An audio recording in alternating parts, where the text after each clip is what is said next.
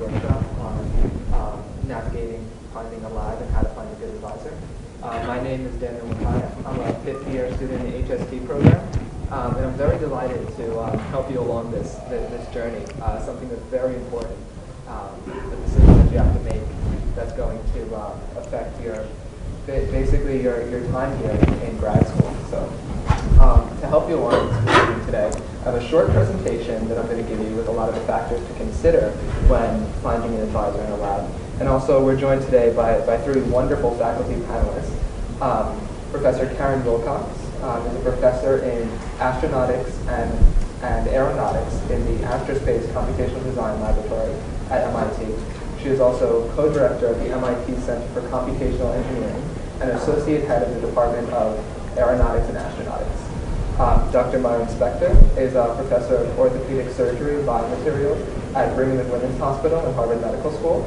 He's also an affiliated faculty um, with Health Science Technology, and um, he is also a senior lecturer in mechanical engineering.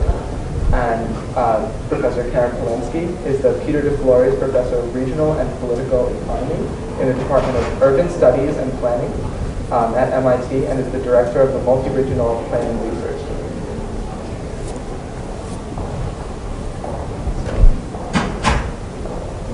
Okay, so my presentation will tell you how to find a lab in three somewhat easy steps. Um, they're very easy conceptually, and then so the, the three steps are one, how do you find out who's out there? Um, what professors are you going to be working for, and where are they in, in this campus in Boston, Cambridge, etc. Uh, what is there to consider? So what are the factors that actually go into making this very important decision? And then finally, what do I say? How do I start this conversation with the faculty when I sit, when I think that I want to potentially join their lab? Um, I have two handouts for you, both um, of which are basically uh, they have to do with this with this presentation. They're a condensed version of the information in this presentation. So if you don't take notes right now, that's that's okay. And there's um, also a pros and cons of different advising styles sheet that was made by the GSC um, a number of years ago that I'm going to make reference to in this, in this presentation so you can then look back at it later. Okay, so first the resources. So how do you find a PI with your interests? Um, one is a web search. So you could search the departmental websites, you could search um, news announcements, you could even, uh, there are websites such as Harvard Catalyst, um, and that website brings together faculty throughout all Harvard and MIT and all of the medical uh, schools if you're more interested in that medical focused research. Um, so really, the internet's a very powerful tool, and I believe that you could find pretty much most of the information that you need on there. It's just sometimes it's a little bit too much and can get overwhelming. So another place to look um, is within your department. So if you go to departmental seminars, if you have any weekly seminars or any meetings that you'll be able to get some exposure to faculty.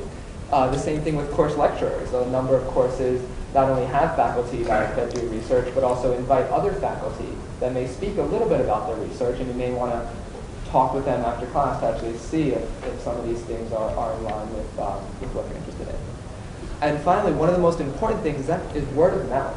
Um, if you're interested in doing something with lasers and you're in um, ECS, you know, there are probably a number of other people in your department who are working with lasers, and they'll be able to point you in the direction of all the faculty that they know who are working in that area. So really, your peers are one of the best sources of information when, when it comes to this. The considerations part. Now this is, is something that's going to be very specific to you. So some people weigh things highly, um, more highly than others. So for example, the, the, the main factors that should go into deciding which lab to join. Uh, one is the, the PI, the principal investigator. And um, you know, we're very fortunate to have a number of PIs on, on, on this panel, and they're going to speak a little bit a little bit more about this. Um, but I'll get back to the PI in a in a second because I have, for, for example, that, that sheet has a number of the pros and cons. I just want to highlight um, a couple things in there. But the I, I want to talk about the, the other three right now. Uh, one is the research project. So for one thing, is the research project interesting to you? Is it something that you're passionate about? Or do you just not really know what you're interested in and you feel like you want to start exploring a, a different area, or you know, you, you, you first need to figure out what type of research you want to work on um, if you don't already have that, that interest um, inside of you. The other thing is think about what techniques and tools you're going to be learning when you actually embark on this, on, on this project. Um, sometimes you may think something is, is very interesting, um, but then you realize that you may have to work with human subjects or animals or class 3 lasers or something that maybe you're not really wanting to, to, to work with. Or maybe that's, that's what you really want to work with. Maybe the whole point of you coming here was really to work with people and to do more clinically focused work. And so you want to choose a project that you will see yourself um, working with people directly um, in, in whatever, whatever way possible. Another thing that, that actually we're very fortunate to have here is a lot of industry academic uh, or, or academic government collaborations. So there are a number of labs around campus that have a direct project with um, a specific company in, in, industry or with a specific government grant or government organization, U.S. Army, etc. And maybe that's of interest to you. Or another thing to really consider, even above a, a level above all that, is is this a new project or is this something that's already existing? Because that's also going to change the, the way that, that you work on it. If it's a brand new project, there's no one in the lab with expertise really on what you're doing.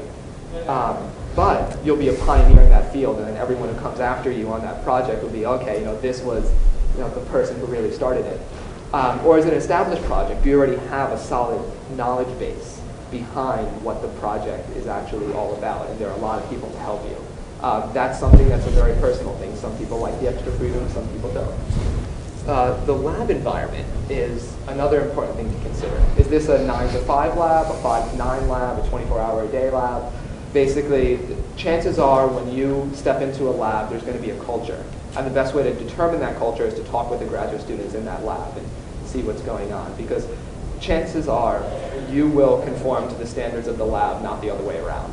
So if everyone comes in at you know 11 p.m. and that's like the standard of practice. Chances are you might feel pressure to, to, to do that, or that just might be the way that, that things are done, and you'll you, you may end up fitting into that into that realm. Um, also, is the lab collaborative? And you could you could kind of get a sense of this when you when you're actually talking with the students and the faculty. Are you working on projects that have some overlap, or are you all working on such independent things that you really don't speak to the person next to you, except for you know, talking about what's on NPR or PhD Comics. Uh, but that's, th those are all things that are very you know, personal considerations. Uh, the other thing is, is funding. Um, do you have your own funding? That, that sort of gives you a really good you know, foot in the door to say, I want to work on this project or I want to you know, work for this lab. Because really with grants being so hard to come by now and funding for students being a, a very big issue, the more grants you apply to, the more freedom you're going to have. So that's actually a very important takeaway message in general from this. Apply to as many fellowships and grants as you can on your own because it's only going to help you. If not just for the experience, or if, even if you get the grants, it'll help you in your career later because that's going to be a line on your resume or CV showing that you could convince other people that you do good work and that um, you could really put forth an idea and, and persuade others. Okay. So back to the to the advisor. So the, the GSC, um, and you, you have this in your handout, the GSC every year runs a um, graduate life survey. And the number one thing that they found is correlated to grad student happiness is their relation with their advisor. So this is kind of an important you know, thing to, to, to consider when you're when you're looking at it. Now, so to, so you, you can all look at this, you know, in detail when you're when you're making these decisions, but you, you have to figure um, out whether you want a advising style that's hands-on or hands-off. So established and, and, and, junior faculty, and that, that's going to be the, um, it's also tied into to hands-on and, and hands-off. But really, if you're in a place where, where you're not given much guidance, and you're expected to perform and just know how to do stuff and find things out on, on your own. But that's not the way that you work, that's not going to be a good fit at all. Um, so if you need that extra support, if you need weekly meetings, if you need constant feedback, you might actually want to go for someone who's more junior in their faculty because they're going to be very invested in the exact work that you're doing because it's going to be very important later on when they are, are you know, looking to publish high impact papers and, and looking to, to push um, both your career and their career forward. Um, if you like more of a hands-off style where you like to just go and, and tinker with things and figure things out, not have anyone else tell you what to do, you know, then maybe going to a more established lab where the where the PI has many projects going on and they're all you know fundraising and and you know talking about the work and not spending as much time necessarily with you, but you have the opportunity to have almost complete freedom in your research. You have a general topic and you could just fly with it and you tell them once a month, you know, what you're doing and they say, okay, great, you know, keep up the good work and stuff.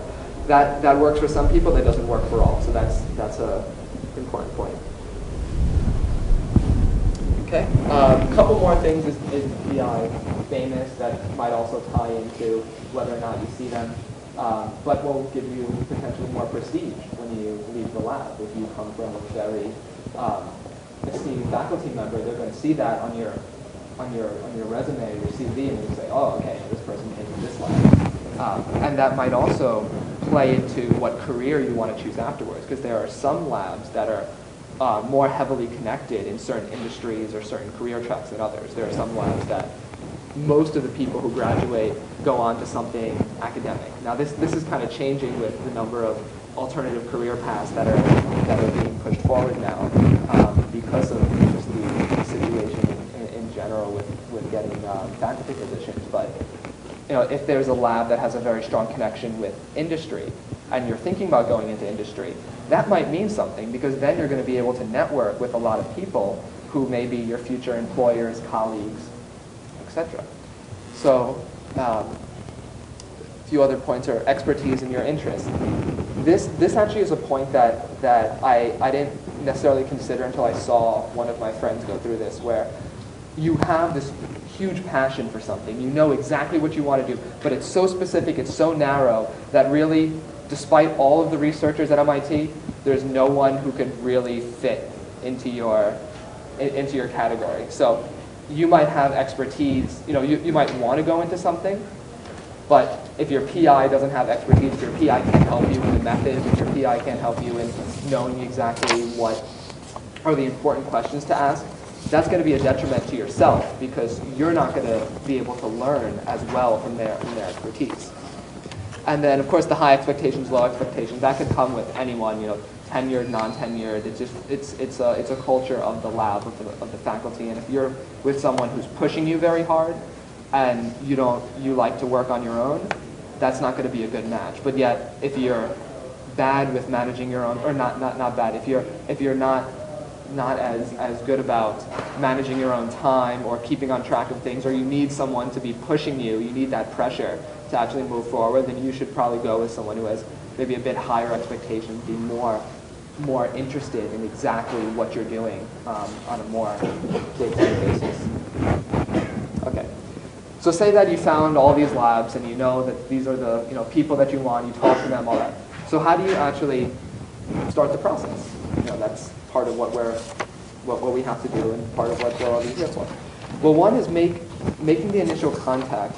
Um, start early and be persistent because um, we're all very busy and faculty are you know, usually much busier than, than we are. So it's very easy for an email to slip from you know, number one on the inbox to all of a sudden by lunch, you know, number 60, 70, 80, 90. So if a PI does not get back to you, that is exactly, you know, all of you know this. Um, a PI does not get back to you, that does not mean that they don't want to talk to you. If they get back to you and say, I'm sorry, we're not taking any more students, that's saying, I don't want to talk to you, um, or I'm not, uh, I'm not available. Um, but if you don't get an answer, you should follow up. I mean, not necessarily if you don't get an answer in you know, six hours, but if you email someone and you don't get an answer in a few days, maybe you might want to send a follow-up email, just you know, re-expressing your interest, asking if they have you know, time to, to, to meet with you. Um, and then you may need to you know, follow up again. But if this is someone who's really worth it, then you might you might want to consider sending several emails if you don't ever ever hear from them. You could also try you know office hours or knocking on the door. Sometimes people are very busy, or they might just be out of the country. They might be at a conference somewhere, and you didn't know this. Um, so that's that's an important thing to know. In terms of making initial contact, email is nowadays usually the easiest, fastest way, most simple way. Um, you could do, you know, door door to door, you know, going to their to their office um, if you're lucky enough to catch them. Phone is also another elusive thing. If you're lucky enough to catch them at a point that they're able to answer their phone. Um, so that's that's how to make the initial contact. Then once that happens, um, and you actually meet with them, you speak with them, then some of the next steps to do um, will one follow up with with with, with a meeting. I mean, you you had one meeting. You talked about all these different aspects of what you're interested, what they're interested, what they do, what you like. Um, but that's just sort of a, it's more like an informational interview actually, you know, gauging what the, what, what the scope of, of what the lab does and maybe see if you could fit in. But after the first meeting, you probably want to schedule a second meeting to not only talk with them a little bit more seriously, but also to meet a lot of the students who are in the lab and maybe even attend a, a group meeting to see how the dynamic of that goes um, and, to, and to just be able to, to meet more people, learn more about the lab. And um, really then, then after that, it's, um, if, the, if the match is right and you both feel that, feel that connection, then it's time to negotiate the, uh, the funding and joining and conversations about you know what requirements there are and what your project may be and, and all that. And again, apply for fellowships because that is very, very important. Um, so with that, we have our, our, our three faculty panelists um, with their, their wonderful pictures up there. And um, based on the questions that, that all of you asked and um, questions that I've also gotten in, in previous versions of, this seminar, I have a few, few points that I'd like to, to start the, the discussion with. And you know, feel free to to, to chime in if you have more questions or want to elaborate on, on certain things. So I, I guess you know we could start with the with the first question on this, um, which is when should students bring up their funding requirements, course requirements, and actual project topics? You want me to start off? Sure. okay. Um, so I guess I think the first thing that I would say is that um, different departments are going to have different cultures with regard to answering this question. And even listening to, to Daniel talk, um, I think the particularly the arrangements with funding can be quite different. So coming from Aeroastro, from an engineering department where pretty much 100% of our graduate students are funded, and uh, funding is actually not grants are sort of not difficult. RAs are not difficult to get at this point. It's a, it's a, it's a good time for funding. So uh, we tend to make our funding decisions early on.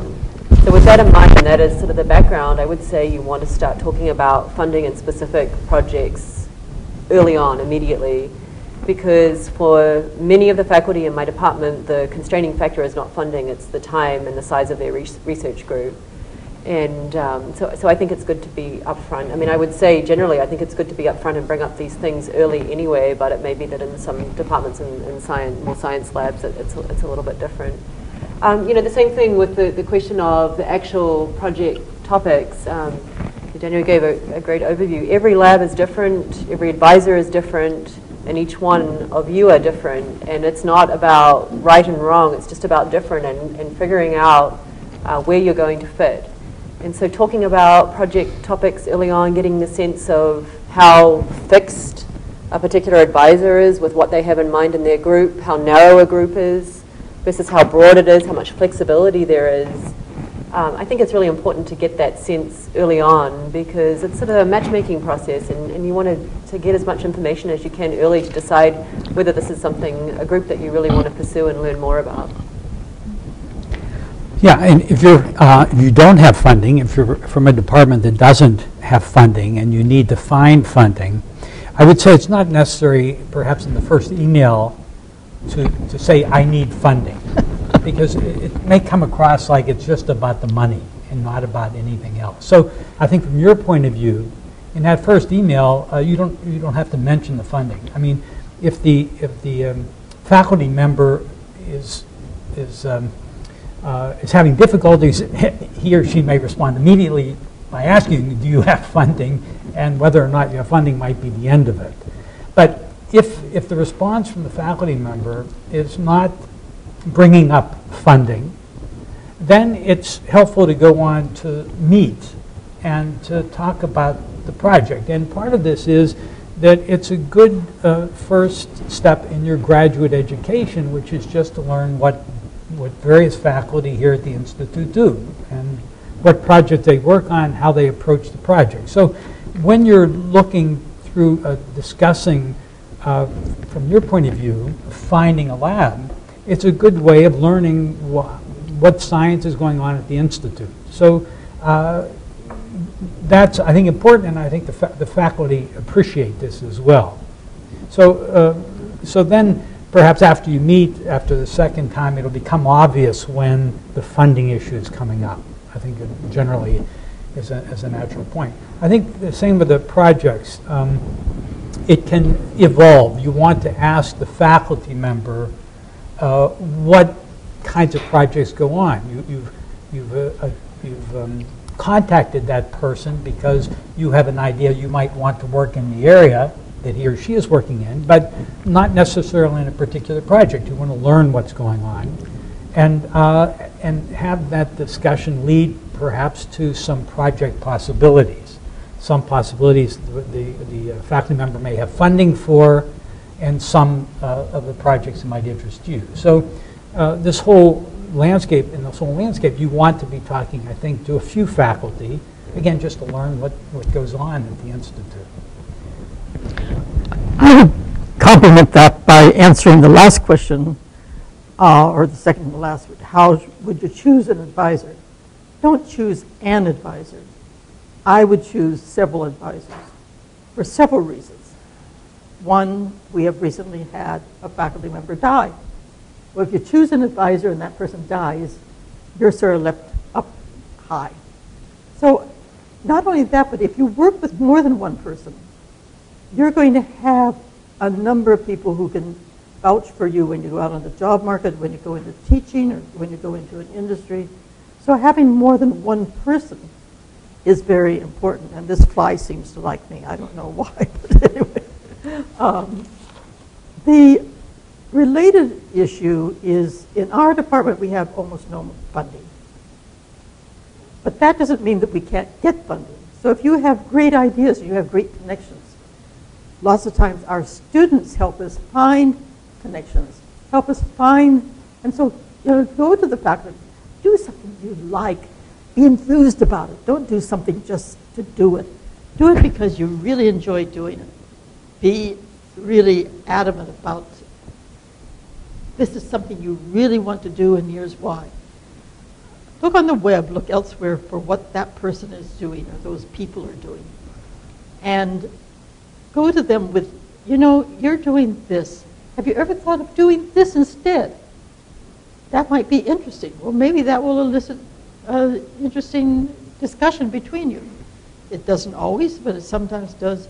Come up with your own ideas. Don't just count on whatever that person has down there, but if it relates to interests that you have, but basically do something you really want to do and can get enthused about it.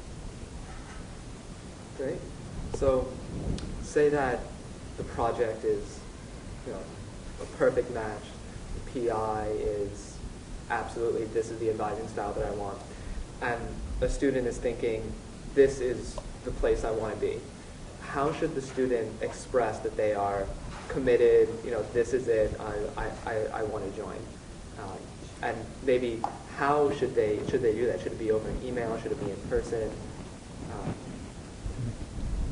um, so I think email is, like you said, perfectly acceptable these days as a form of communication. The one thing I would say is always be professional in your emails. If you're not sure whether to refer to the professor by their first name or by Professor X, then call them Professor X, but don't write hi there or you get, you know, pe people will go to extraordinary lengths to avoid using a title in an email. So just be very professional, and if you're not sure about where you should be aiming, then be more formal rather than less. I mean, I'll always tell students, you know, please, please call me Karen. If you don't get that invitation, then, then continue to be a bit more formal.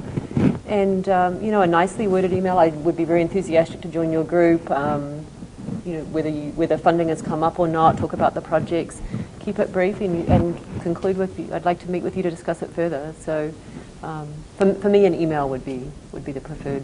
The professionalism also goes, I've sometimes called people back because there's a phone number there and I've called them back. And I get this ritzy ditzy tune coming back. You know, clean up your, your messages that you have on your machine for people to call you back. Because something like that, maybe it will go over well with some faculty, with some, that will immediately put them off. So it may be okay for your friends, but when you're dealing professionally with people, you don't want to have that.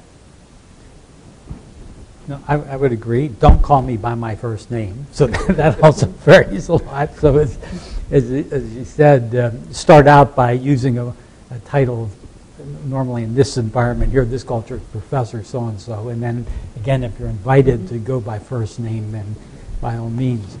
Uh, I think also um, it's, it's quite, it's fine to ask for help of the advisor, is of the person you're speaking with. In other words, if you, you think you want to work for that person, you're not sure, don't, I wouldn't say, don't hesitate to, to send them an email that uh, you would appreciate some additional advice in, in trying to resolve a few issues. I think you can ask for advice. The faculty are there to help you. Uh, I think certainly that leads on the, in, into the fact that you, you don't obviously don't want to come across as sort of a know-it-all. Uh, you want to resist saying that you spent two years wherever you were before working on a project and it's a great project. You'd like to continue it in this person's laboratory. Right? You want to keep an, your mind open to what that the, the person is doing.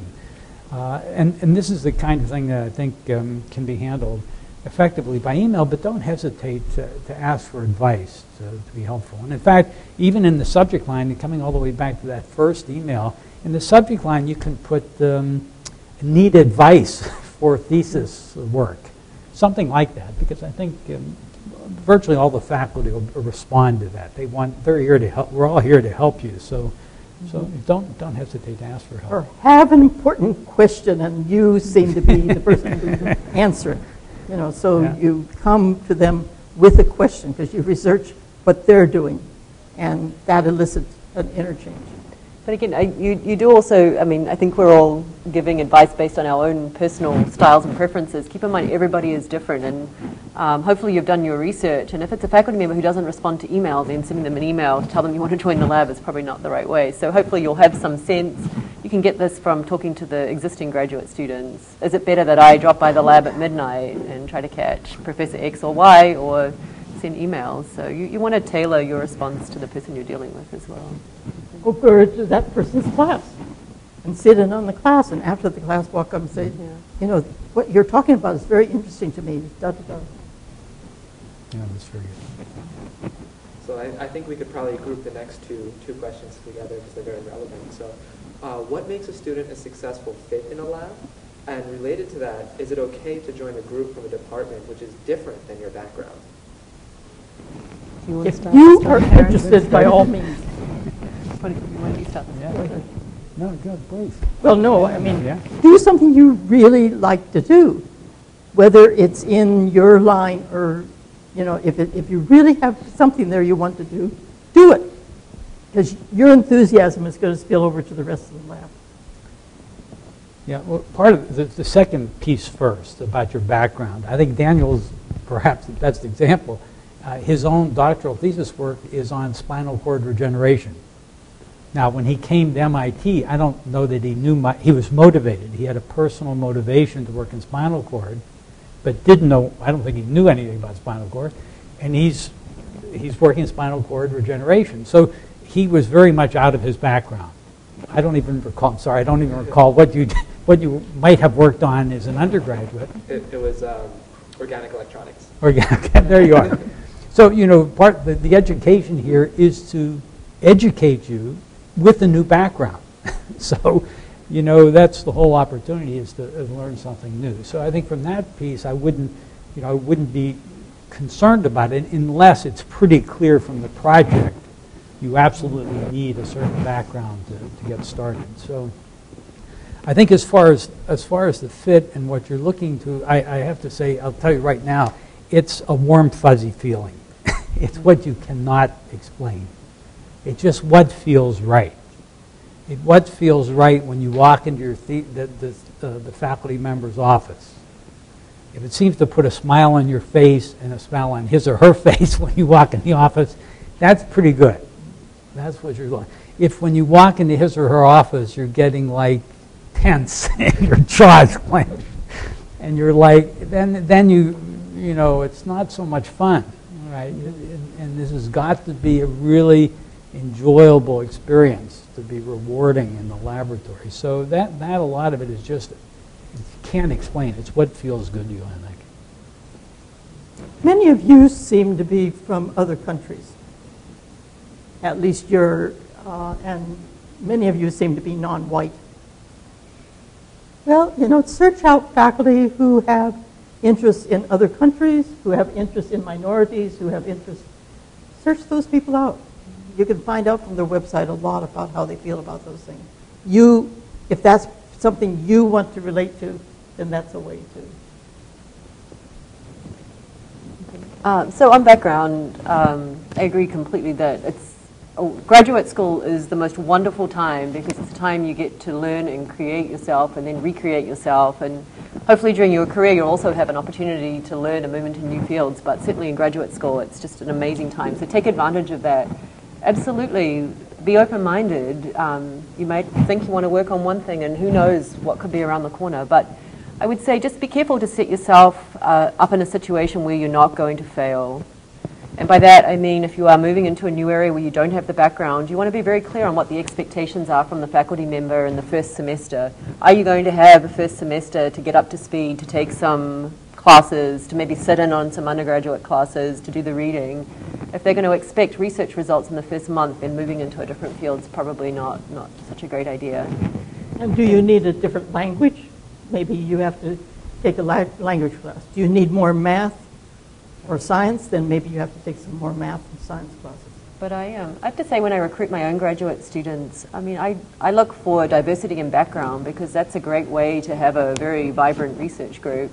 And I have students that come to my group that don't have the sort of official training they might have. I have students who have done master's degrees with other people and have come to me as PhD students with not quite the right background, but, but that's fine. They bring something else. Um, and then the other sort of flip side of moving into a different area is uh, keep in mind, you gave the example of lasers and you said talk to your friends in ECS, but I look around, certainly the engineering school, and I see the departmental boundaries between what is mechanical engineering, what is aeroastro, what is electrical. It's getting more and more blurred. If you're interested in biomedical engineering, there are probably six departments that you could find somebody in at MIT working in that area. So just because you're admitted or you're in one department doesn't mean you can't seek an advisor from outside the department. And I know it happens, but I don't think it happens nearly as much as it could sort of on an intellectual basis. That um, often faculty amongst departments are actually intellectually much closer than faculty within a department. So, so be, be, be open-minded in that regard too, I think, when you look. So actually very, very related to that. Um, maybe for, for someone who has quite a broad research interest and one faculty member may not be exactly what they were, what they were interested in um, in terms of the scope of their, their research project. Uh, how would this play into choosing a, a co-advisor? Or what, what, what wisdom do you have for, for the students on when it's appropriate to choose a co-advisor or how to go about choosing a co-advisor?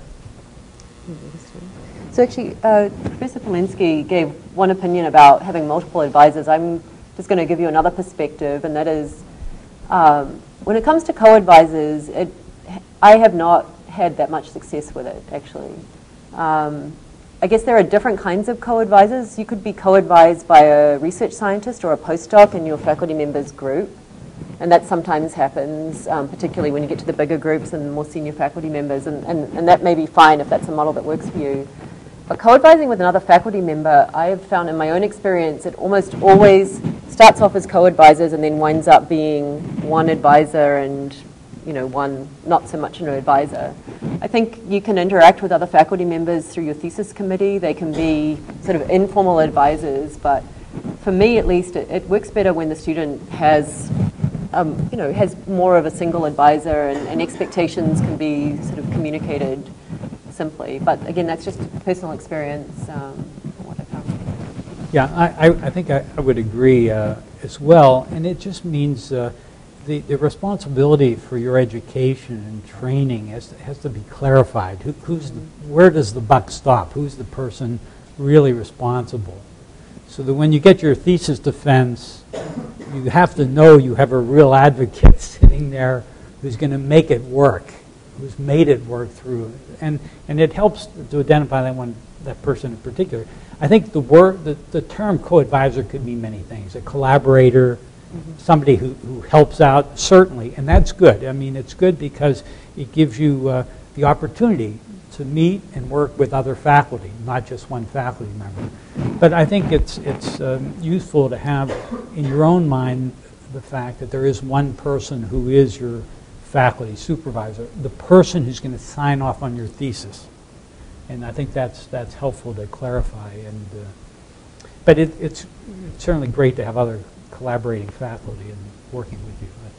I think it depends a lot upon whether or not, a lot of the people I work with come from other departments. And I would never be able, for instance, I work very closely with chemical engineers. I'm not a chemical engineer, I don't know that area. It'd be silly for me to advise a student on the chemical engineering part of their dissertation. But the economics, the regional planning, so on and so forth, that's fine, I can do that. So it depends upon how isolated your field is. And then, but if you're cutting across fields, as many of our students do, then it's very important not to depend on, just one person. But it's true, the buck stops with whoever is faculty in the department from whom you're getting the, from which you're getting the uh, degree. They have to know the rules and regulations. So I'd actually like to emphasize the, the point of um, forming your, your thesis committee. Now, this is something that you're probably not thinking of, of right now, but really your, your thesis committee is essentially a group of your advisor and a bunch of informal advisors that have, in some way, shape, or form, um, knowledge about different aspects of your project. And since our, our, our work sometimes covers many different fields, it becomes very important in those cases to have advisors um, and, and thesis committee members, and as co-advisors, who are experts in the individual parts of your project. Because not only will that help you flush out problems that may come up, um, but they'll also be your, your advocates, and that'll make your work that much stronger. And they'll be able to speak for the, the strength of those aspects of your work. And then when it when it comes um, later on, when you're looking for jobs and other opportunities, now you have a variety of people who are in your network who come from those different areas because maybe by the end of your thesis you realize, you know, the thing that you started in wasn't necessarily where you want to go, and now you expanded your network to go into multiple uh, different areas. And the, the, the, same goes with, with collaboration. So many, many times your collaborators end up becoming part of your, your thesis committee.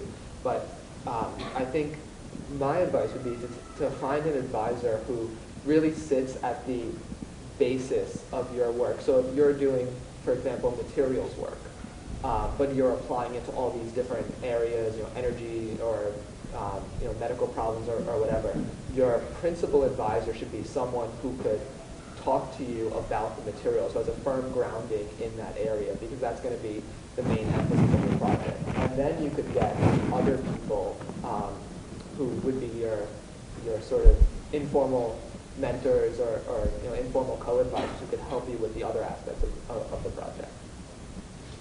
Um, so I guess the, the last prepared question that, that, that I had from, from this group um, is a little bit of a, a, of a touchy subject for you know, someone joining a lab, but say all of this really doesn't come to fruition at the end. You join a lab and it's really not what you thought it was and you don't like the culture, you don't like the advisor. How should you professionally remove yourself from that from that situation and, and go on to, to find another position? I don't think anybody want, uh, carefully, very carefully, you want to do this. Uh, But actually, I tell you, every, de- I, I'm sure every department has um, people there, administrators who deal with graduate students who have a lot of experience with a lot of the faculty in the department. So uh, I would use those people as resource. And um, so I would begin to look to get their advice. First of all, express what, the, what you feel the problem is. Sometimes they can work it out. Sometimes you know, they can work it out with you or they can work it out with a faculty member uh, to sort of be an arbiter of this. Uh, if not, they can give you good advice of how to proceed. Normally, what's done in that department to, to switch advisors. I think, uh, as with just about everything, it's important to be as open and honest as possible it, from the beginning.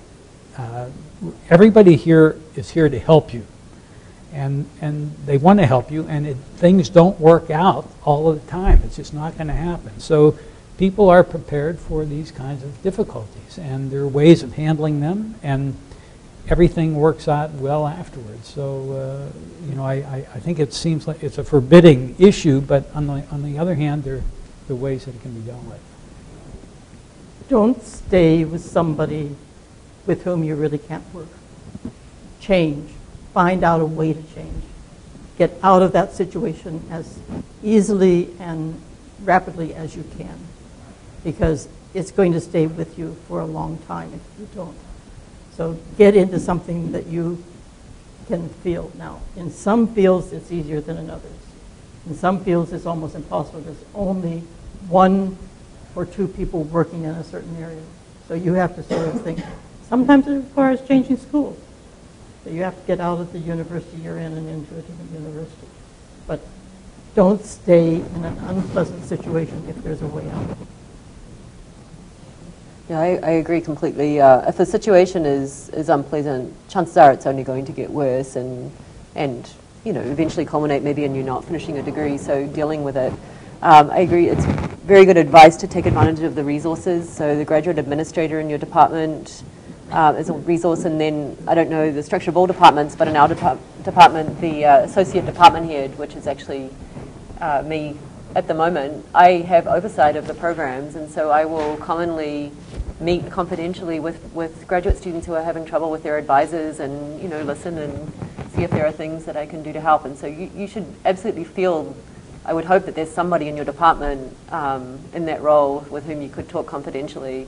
And then, of course, at MIT, there are the Ombud's office. Um, there are a lot of even resources that sit above the department, so ask for help. And then ultimately, if, if you're unhappy and you're not doing well, um, I think there's probably a really good chance that's not going to come as, as, a big surprise to your advisor when you tell them you want to leave.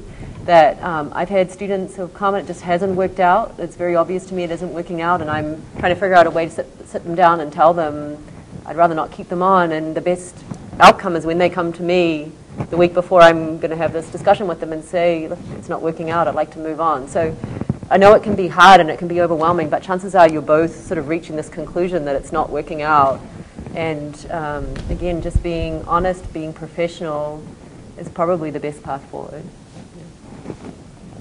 It's almost remarkable there's not more of a problem with this because you're the, this, the uh, graduate student thesis uh, relationship, thesis advisor relationship is really unique. I mean, you're having a relationship with a person for five years generally, four or five years. Sometimes I mean, more. Sometimes more.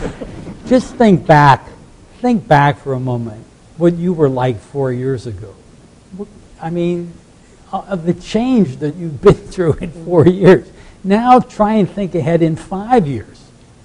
Are you going to be the same person that you are now? I mean, you're going to go through changes. Well, the faculty member also is not, I'm, I'm going to change in five years. So both people are going through this change personally and professionally, and the thought that you're maintaining a working relationship that is not only professional but friendly uh, is is really uh, remarkable, and it's it makes it so satisfying. Actually, it's the whole process is really a satisfying process. I mean, that's why I think that's why we're here, right? That's Absolutely. why that's why we don't work in industry because it's really great. I, I, honestly, I think graduate students are more like children than they are employees, and it, it's hard. It's like being a parent that you have to sometimes be really tough, and there are things that are not easy, and um, it's about professional development and personal development. And there are, you know, days when you're mad with your, your parents. I mean, it's the same thing with your, your advisor. So it's, it's not easy, and, and you both do change a lot. Five years is a long time. Um, but I think the neat part of it is that the bond, particularly with the PhD, the bond you form with your PhD advisor is, it's unlike probably any other professional bond that you'll have. So. And you'll maintain it for the rest of your life. You're going to be coming to that person because you're going to want to get a job, then you want a promotion, then you want an award, then you want, so you're going to be going back to that person over and over and over again. So just graduating is not going to break that bond. Great. Um, well, that's all that we had um, prepared in terms of questions. So I wanted to open up the floor um, to see if anyone in, in the audience um, had something that was a pressing question for them that they'd like answered. It's uh, kind of the idea of your ideal lab size. First, like how do you go about, just on your side, deciding what that is, and then how flexible do you think that that is year to year? And if someone comes and it's someone that you thought would be a really good fit, but you're full in your mind, when you kind of, what's your thought process? Okay, that's a good question.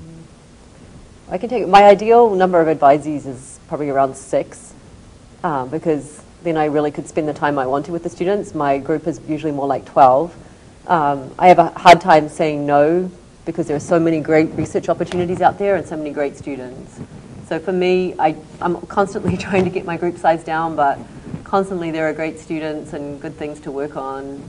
So, you know, um, even though I know I'm overcommitted, if a really great student that shows up that's got passion enthusiasm that I think will be a good fit, I would tend to say to say yes. And that's why even if you know, even if nominally a, a faculty member says they're not taking students on, if you have an opportunity to, to get and, and talk to them um, without pressuring, I think it's a good thing. Yeah, I think this speaks to lab size, just as was said. Uh, so I think um, we both adjust our lab size relative to how many students we can meet with as necessary, even weekly if necessary. And that really adjusted because I, personally, I want to be involved in the research. The, the research is fun. So it, I don't want to, I want to be involved in it. Uh, so on the other hand, there are some labs that are three times the size of our labs. And in that case, there are several postdocs uh, who may have been around several years who then provide the day-to-day or weekly interaction, whereas the faculty supervisor might meet monthly. And in that faculty supervisor, uh, it's a bigger operation, and he or she derives pleasure from running that kind of operation. Now, from your point of view, it's, it's an adjustment. It's a question is what, what, where do you feel best? Do you want to be meeting with the faculty supervisor, or on the other hand, do you not mind working with a seasoned postdoc and taking quality time, the use of quality time with the faculty supervisor, maybe once a month? So, so it's, it's a, a different setting. I'm, I wouldn't say one is better or worse. It certainly, it, for me, it's better because I want to be involved. So, so that's a good question, and that, that's an important question, actually, to resolve. You know, in our department, we don't really have labs. We have research projects. We have studios because we're in architecture and planning. So architects have studios, and those can be quite large. The Beijing studio, for instance, they take maybe uh, 10 people over to China. So some of this also depends upon what you do with the people.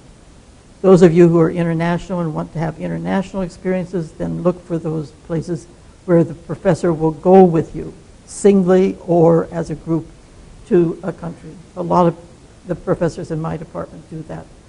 I've taken people to China, I've taken people to Brazil. Um, you know, this is important experience be able to work with the faculty and fellow students in the field. So it, the size is not so important as what you're doing with them.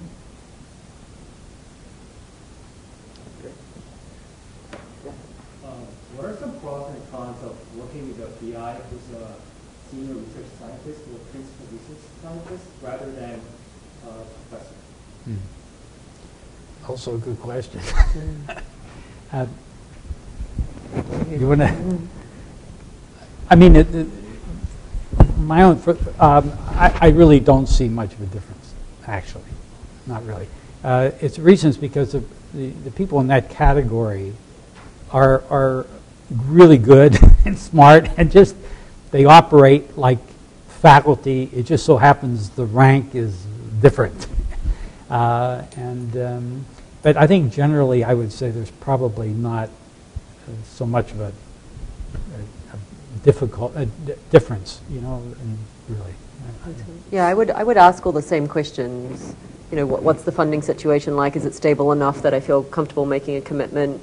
Um, you know, is this person the right person to help me move on in my career? So there are principal research scientists here at MIT who outside are regarded, you know, more highly than, than, than faculty here.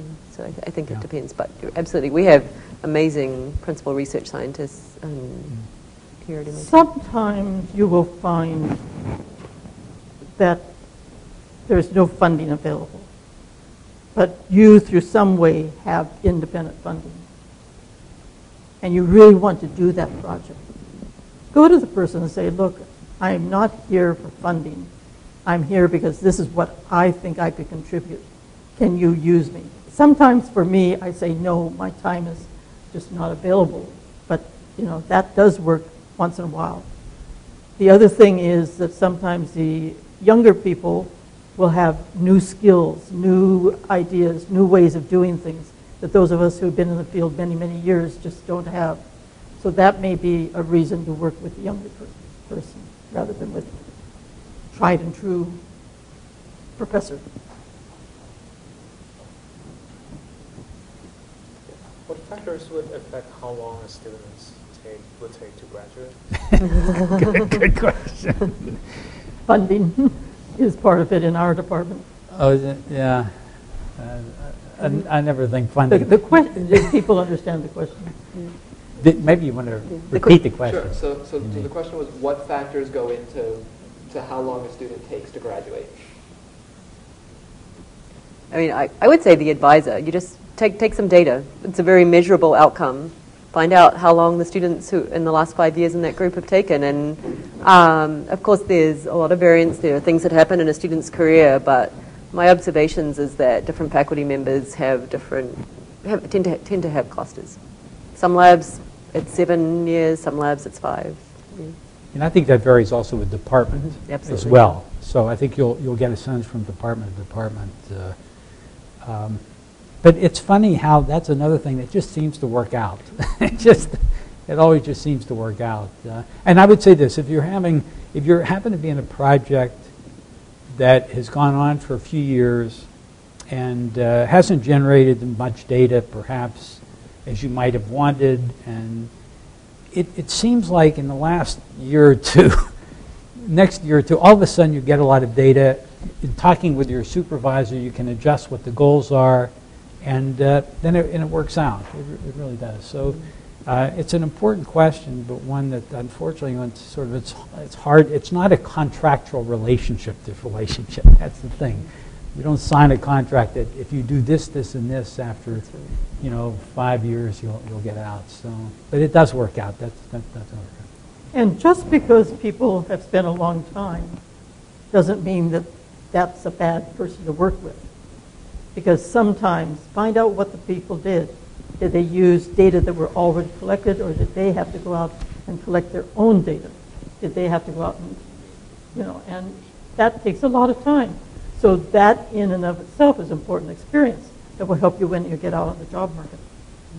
And if I can add one more thing, um, often that question is asked, and we're all thinking, oh, you know, being a grad student forever is a terrible thing. I have to tell you, uh, being a being a PhD student particularly is one of the best times of your life. Never again in your life will you have so much flexibility, so much time. You think you have a lot to do. Trust me. It's, it's just going to get worse. An opportunity to go and take classes. You're at a place like MIT where you can do a minor in, I don't know, the Sloan School or in geology. If I could do one thing differently, I would probably tell my, my advisor, who's now department head, take a, an extra year to do my PhD and actually take additional classes and learn more stuff. We're in such a rush to graduate. So I would say, I mean, obviously within reason, more time is not necessarily bad because it is an incredibly rich learning time in, in, in your life. And um, Yeah, don't, don't be in, in too much of a rush. The other, the other part of it, I saw in your, your guide, there's a, there's a statement that says, well, I have to TA. Again, it makes it sound like being a TA is a terrible thing that you only do if you're completely out of all options for funding. When else in your life are you going to have a chance to learn to teach and to interact with some of the smartest undergrads in the world? So maybe taking a semester to TA might help you figure out whether an academic career is for you or whether, you're into, whether you enjoy teaching. Um, again, if that adds on half a year to your PhD, it's, it may be worth it in the long term. So. And a lot of it will depend upon your family situation. If you're married and have children, it's going to take you longer, probably. And that's not a bad thing. You know, I, one of my students took quite a long time, but he had two sons in the process, and he spent time. He wanted to have time with his family. So he spent time with them. He did not finish as quickly as others. But that's fine. You know, he had a very good family situation. So take those things into account. Talk with your advisor about why it's taking you so long. Sometimes advisors don't know that you have all these family obligations, or you have parents that you're trying to help or something. Let your advisor know that that's taking up a lot of your time and let them help you in making decisions on how to juggle it. You also mentioned funding as a factor for that affects the how long these things will take. The funding? Funding, I think you mentioned that funding affects how long these things will take. well, if people have funding, they should finish sooner. But they don't always do it because often the funding gives them the luxury of going into other things. And that's sometimes good because then you find new job opportunities, new ways, new interests.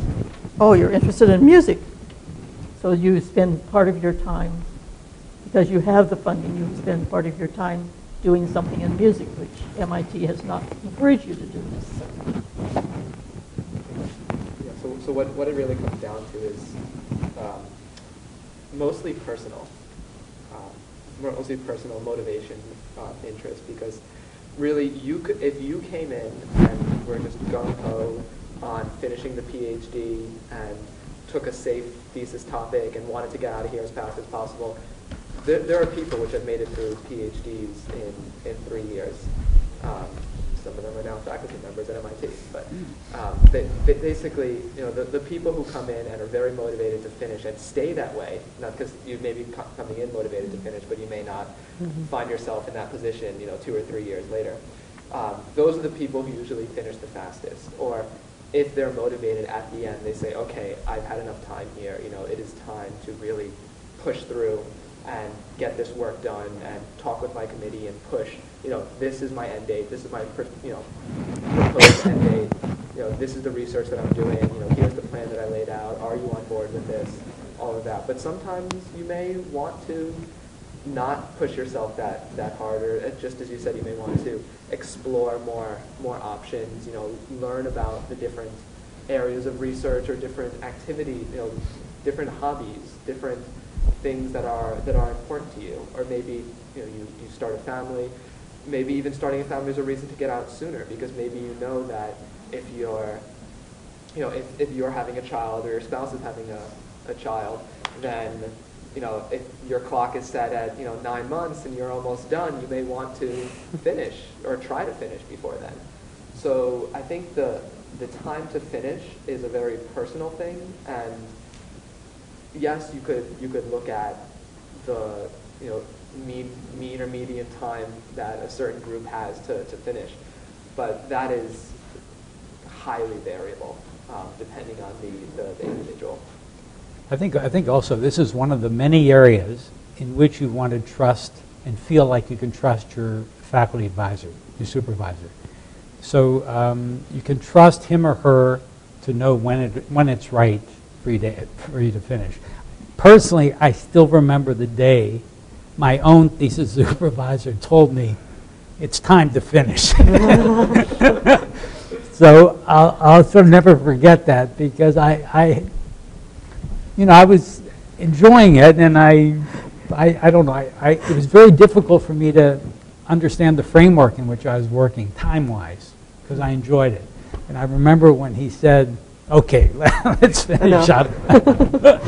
So, you know, you can just feel like you can trust, trust him or her to, to deal with But be certain to let your advisor know what the situation is. I remember one of my very, very bright male students just didn't finish, didn't finish, didn't finish. And I couldn't figure out because there wasn't much for him to do to finish.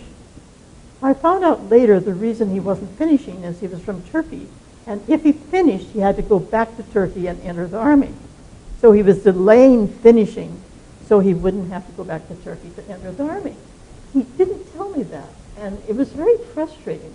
So be in communication with your advisor so they know why the, the delay is not because of lack of something up here, but it's because of the circumstances facing you in your personal life.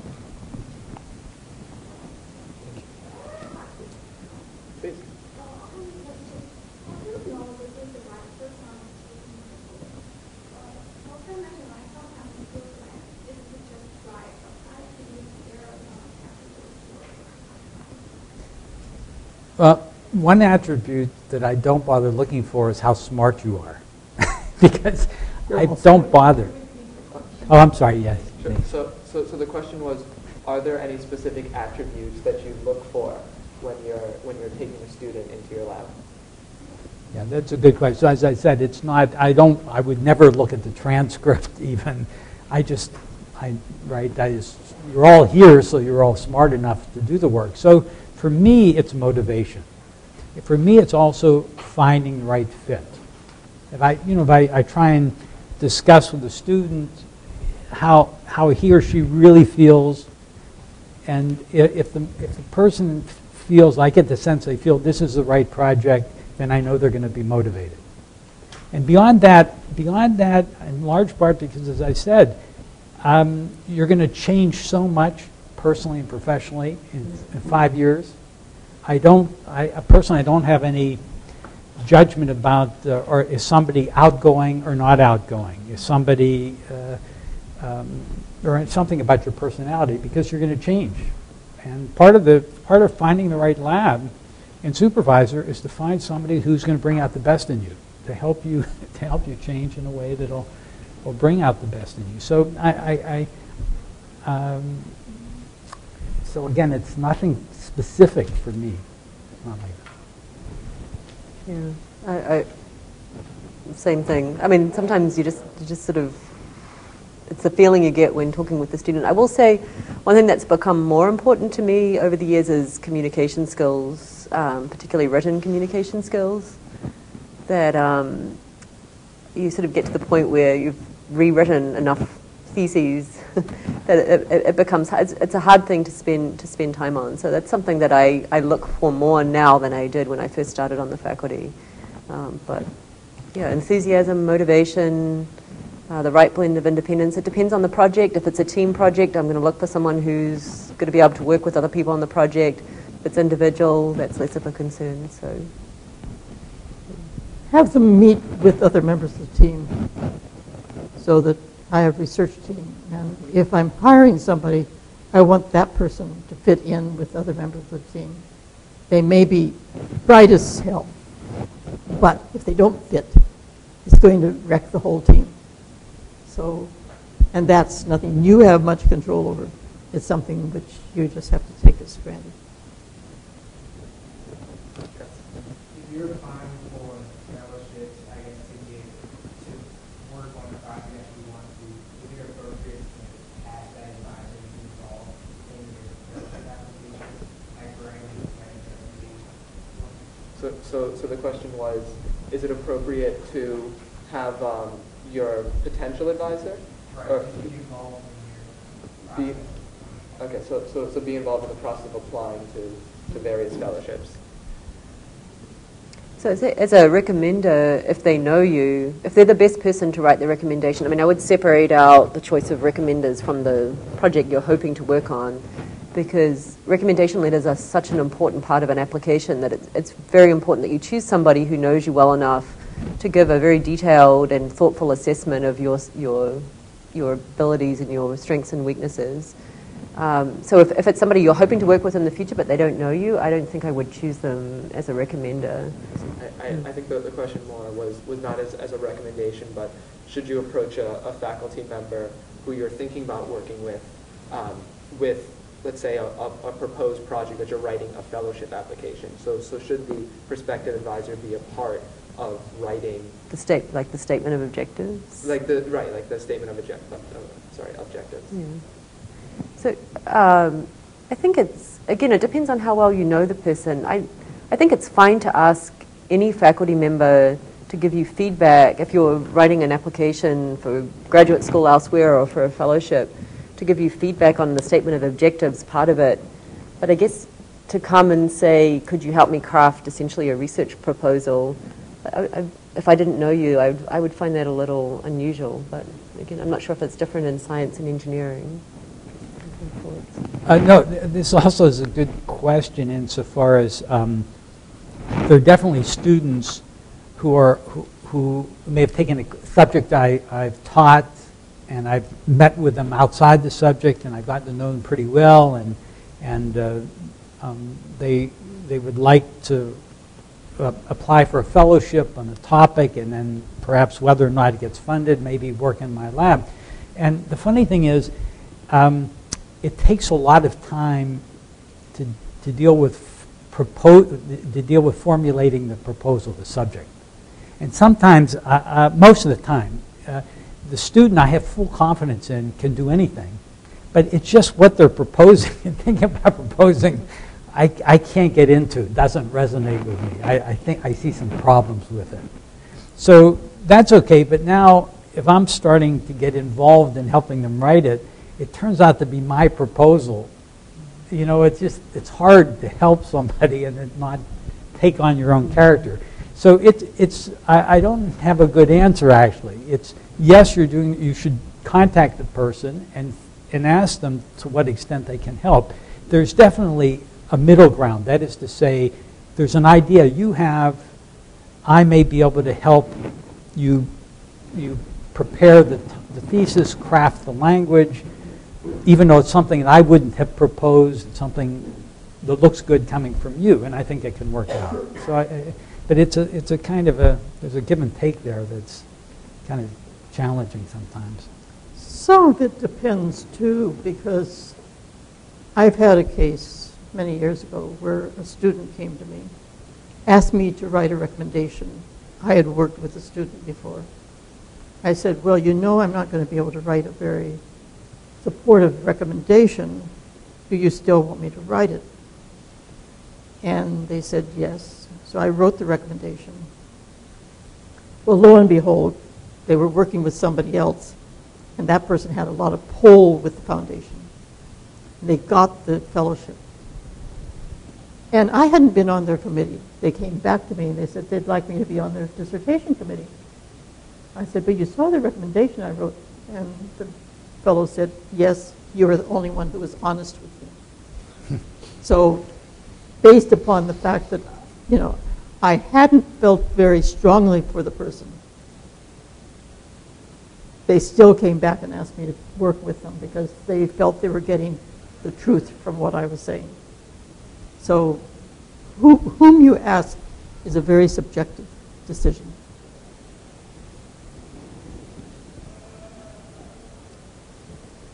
Okay, any more questions? So there's a lot that um, does fantastic work and you're really interested in the project. Um, and you talk to the grad students, but um, it seems that the lab environment is not very supportive. Um, how much should you take that into consideration in terms of choosing the lab?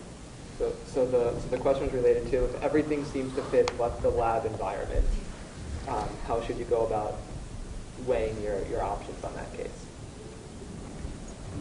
Well, Would you enjoy working there? I, I really like the project and I, I don't know how much, if maybe four years down the road, I don't know. Talk with some people who are there, and if they, even under those circumstances, enjoy it, then go ahead. But if they don't, I would stay away from it. Yeah, I think you used the word supportive. Another word could be nurturing.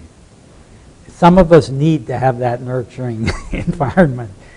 Probably I'm that kind of person too. Would, would, would like to get the warm, fuzzy feeling of people there I know who are supportive and nurturing. Um, but that's just me. Uh, so I would rather be in that environment. Uh, so I, I, if you're if it's if you're sort of concerned up front about it, I, I can't say chances are it won't get better. It could, because you might you may have only had a limited number of meetings with the faculty supervisor, and once he or she takes on the responsibility, they can change it entirely from your point of view. So uh, you might give them, uh, you know, some some additional time and see how that works out, but. Uh, Otherwise, it is important to, to sort of know, get in touch with the kind of person you are and what, what, what you need. That's exactly right. I think you have to ask yourself how important is that support for you to be successful? Can you be successful without it, or is it really essential to who you are and what, what it is that you need to do well? And then, you, you know, you could also ask, does the supportive environment have to come from within the lab itself, or is there a very active graduate students association in the department? Um, or neighbouring labs? Are there other ways? So talking to the graduate students that are there and finding out whether they're just people who don't need this kind of supportive environment or whether they have other ways of doing it could be a really good way to go. And thinking ahead to where you want to go in the job market. If working in that sort of environment is something you really need for your job, then maybe you better do it even if it's not very supportive in and of itself, because you're going to get training in what you want to do. But if it's not going to help train you in what you're going to do, don't do things you don't want to do. I mean, there's too many interesting things to do in life. Well, if there's no more questions, uh, I'd like to thank our faculty panelists again.